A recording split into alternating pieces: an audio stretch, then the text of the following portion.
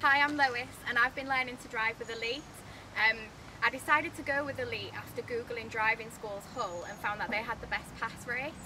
Um, after speaking to somebody on the phone who was really really friendly I decided to go ahead and book with them.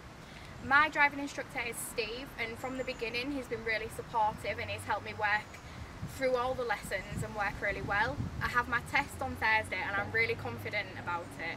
Um, I would recommend Elite to anybody, um, young or old, uh, new to driving or not, it's really really good.